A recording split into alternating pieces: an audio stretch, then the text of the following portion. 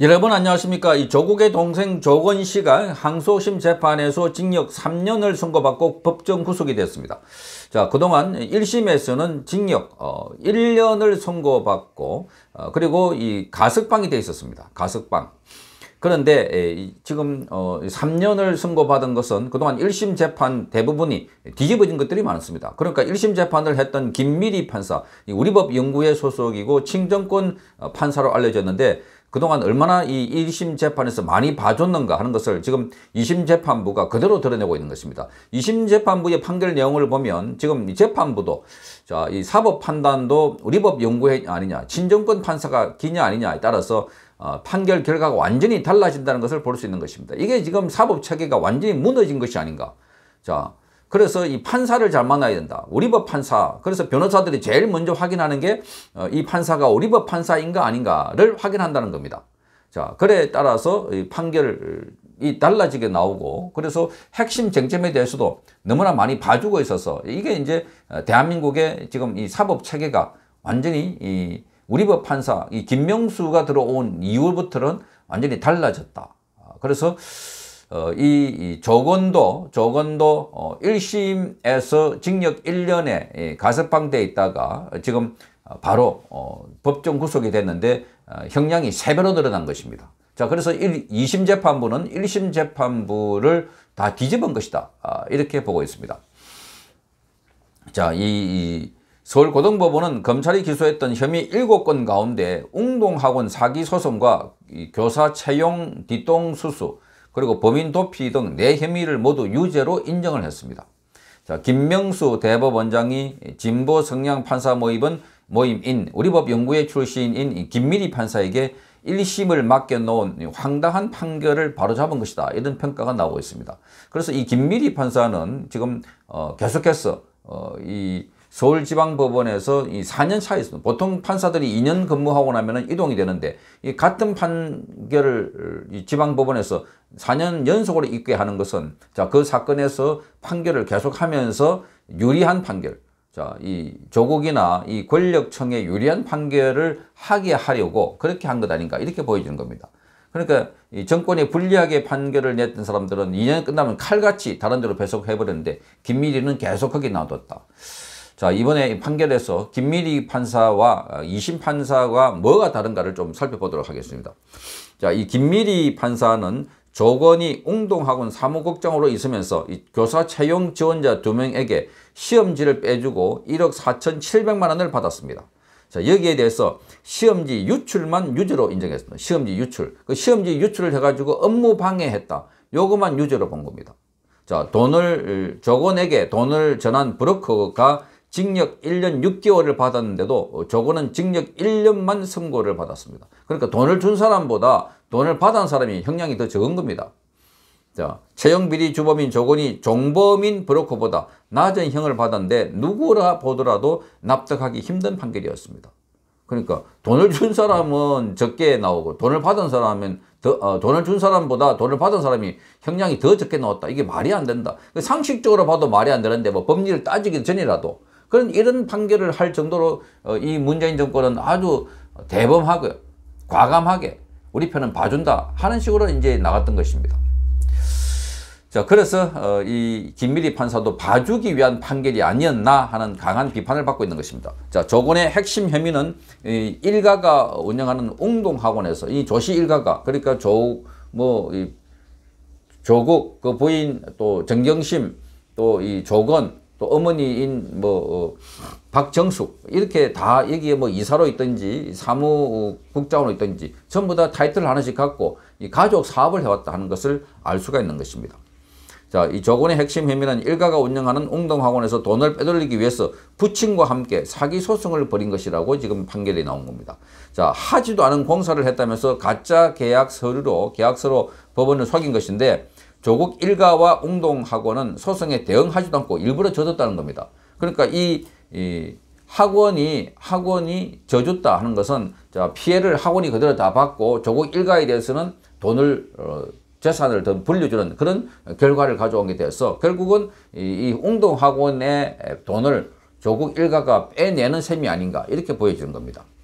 자, 저거는 채권 51억 원을 확보했고 웅동하고는 그만큼 빚을 지게 된 겁니다.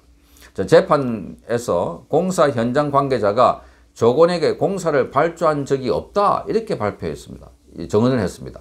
그렇지만 어, 김미리 판사는 허위 공사라고 단정할 수 없다고 했습니다. 자, 허위 공사라고 단정할 수 없다. 아니 공사 현장에 있는 사람이 자 조건에게 공사를 발주한 적이 없다고 했는데 그래 발주한 적이 없는데 공사 어, 이 대금을 준다는 건 말이 안 되는 거 아닙니까? 그렇게 이렇게 에, 법원에서 이런 결정적인 증언이 나왔음에도 불구하고 허위 공사라고 볼 수 없다. 이렇게 말했다는 것 자체가 이 조국 가족들에게 봐주기 위한 재판을 한 것이다. 이렇게 보여집니다. 자, 그러면서 항소심에서는 반대 결론이 나온 겁니다. 자, 조건이 브로커를 해외로 도피, 도피시킨 혐의도 김 판사는 무죄라고 했지만 항소심에는 유죄로 뒤집었습니다. 그러니까 범인이 도망가도록 자, 이 음? 교사, 어? 언니, 교사 이런 혐의로 지금 음, 어, 받고 있는데 1심 김미리 판사는 어, 해외, 해외로 도피시킨 혐의도 무죄다 이런데 그러니까 이 중요한 범죄마다 대부분 무죄로 판정을 하고 있어서 그래서 이 조국 가족들을 봐줬다 하는 겁니다. 자, 이, 이 외에도 지금 음, 김미리는 청와대의 울산시장 선거 개입 재판에서도 1년 3개월간 유무죄를 가리는 공판을 한 차도 열지 않았습니다.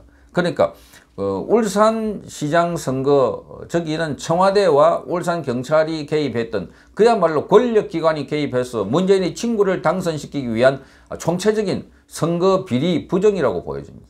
자, 이 사건은 굉장히 큰 사건입니다. 민주주의 근간인 선거를 개입해가지고 자, 투표에 의하지 않고 그 안에 뭐 다른 여론 조작을 해가지고 그래서 투표에 영향을 주려고 한 것 아닌가. 그렇다면 이 대통령부터 처벌을 받아야 되는 아주 중요한 범죄로 보이는데 자, 이 공판을 계속 미뤄가지고 1년 3개월 동안 유무죄를 가리는 공판을 열지 않았다. 하는 것은 자, 이 문재인에게 불리한 재판을 안 하겠다는 겁니다. 나중에 문재인이 퇴임하고 난데 그때서 재판하려고 한 건가? 자, 그래서 다른 판사들이 공판 일정을 정하자 돌연 이 김미리는 어, 병가를 내고 다시 재판을 지연했던 것입니다. 자, 그러니까 이건 김명수 대법원장과의 교감이 없으면 이런 일이 일어날 수 있겠는가. 그 김명수가 지금 어, 조국 관련 재판에서는 적극적으로 개입해서 어 뭐 이렇게 조국에 유리하도록 이런 작업을 하지 않았을까 하는 의심이 아주 강해 드는 겁니다. 이 김민희는 그 앞에 유재수 어 감찰 그, 그 무마 의혹 관련해서도 지금 그 유재수의 감찰 무마했다고 조국이 기소가 되어 있는데 그 건과 관련해서 검사에게 오히려 이렇게 물었습니다. 자, 이 피의자, 즉 조국이가 검찰 개혁을 주장하기 때문에 그래서 이 검찰에서 이렇게 가혹한 수사를 하고 있는가, 있는 것 아닌가. 이런 식으로 또 검찰에 물어서 검찰을 정말 멘붕되게 만들었습니다. 아니, 피의자가 검찰 개혁을 한다고 해서 그래서 검찰이 수사를 한다. 이런 식으로 판사가 선입감을, 견을 갖고 이렇게 질문을 했다는 것 자체가 말도 안 되는 거다. 그러니까 이게 문재인 정권을 편들어주고 있는 뭐 검사, 판사, 언론기관 이게 전부 다 기울어져 있다 보니까 판결도 그렇게 하고 기소도 그렇게 하고 보도도 그렇게 한다. 그게 단적으로 나타났던 게 박근혜 전 대통령 탄핵이었고 또 적폐머리 때도 적폐머리 때도 여러분 기억하십니까? 문재인 정권 들어서서 뭐 일제히 막 공격했습니다. 뭐 이재수 유, 어, 장군 뭐 그때 기무사에서 어 세월호 유가족들에 대해서 뭐 사찰을 했다. 또 박근혜 정권 때 뭐 우파 단체가 뭘이 나와서 시위하면은 돈을 받았다. 머리 한번 깎는데 삭발하는데 200만 원을 받았다. 이런 막 얼토당토 않는 계속 그 머리를 해가지고 박근혜 정권을 아주 형편없는 어, 그야말로 어, 이 썩은 정권처럼 이렇게 보도하고 그 관계되는 사람들 불러가지고 수사하고 구속하고 불러가 수사하고 구속하고 그리고 심지어 국군 기무사의 개헌 문건 관련해가지고 뭐 여의도에 장갑차가 들어서고 언론사에서는 이 검열을 하게 되고 어, 이 광화문 광장에서는 탱크가 주둔하게 되고 이런 식으로 마구 어, 언론 플레이를 했다. 그러니까 어, 지금 어, 이런 그 언론, 사법 그리고 검찰 여기가 이 결탁이 되면 대한민국 체제는 금방 넘어가 버린다. 저 박근혜 대통령 탄핵이 그런 거 아닙니까? 언론에서 계속 선전 보도를 하고 나니까 검찰에 불러가지고 계속 어, 집어넣고 그 결국은 어, 이 관련된 사람들 가운데 너무나 억울하다 해서 어, 극단적인 선택을 한 사람들이 다수 있습니다. 유재수, 변창원 포함해서 그러니까 지금 이 판결뿐만 아니라 수사와 언론 보도 이 총체적으로 지금 대한민국의 법치를 무너뜨린 정권이 바로 문재인이다. 아, 대대적인 어, 나중에 이 심판을 총체적으로 할 필요가 있다. 그래서 그 책임의 초 에, 최고 책임자는 문재인이고 그 밑에 쭉 있는 이 세력들이 대한민국의 법치를 파괴하고 민주주의를 유린하고 정통성을 부인했던 이 세력들의 에, 심판이 불가피하다 하는 것을 다시 한번 확인할 수 있는 재판이었습니다. 성창경 TV였습니다.